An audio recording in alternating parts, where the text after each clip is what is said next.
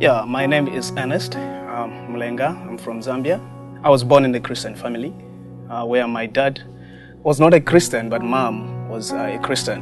You know, up to the, uh, uh, the age of 12, I thought I knew Jesus by then, but uh, later on I came to realize that I didn't know Jesus.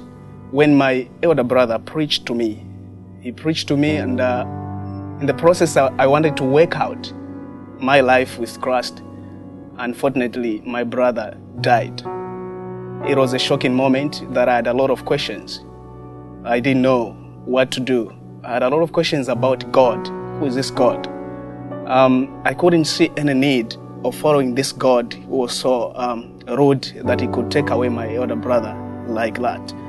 It was not easy for me, and that took me away from knowing God. I got involved with uh, other things, uh, especially my friends. One of the things that uh, I, I did was uh, to get into kind of fighting, using abusive language to other people.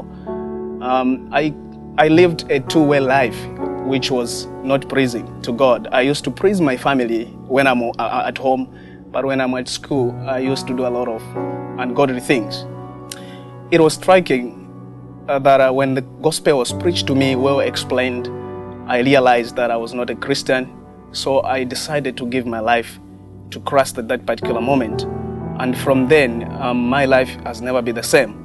Born in the Christian family where your parents are Christians, your mother or your, parent, your, your father is a Christian, it doesn't make you a Christian.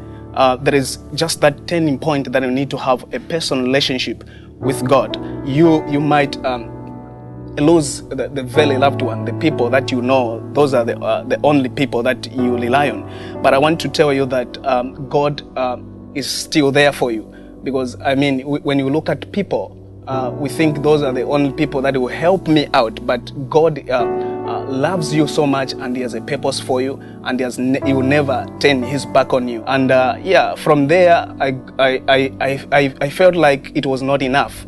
So I decided to pursue uh, biblical studies because I wanted to know more about Christ. So um, I decided to go to the Bible school. I felt the, that I need to to be trained for me to go out there and preach the gospel. Especially, I wanted to go back to my friends and tell them about Jesus.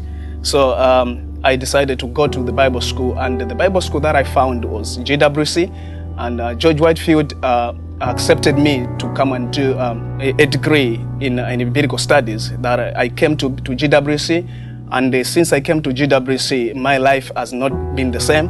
I've changed a lot and uh, yeah I can tell you to say GWC is a good place to be.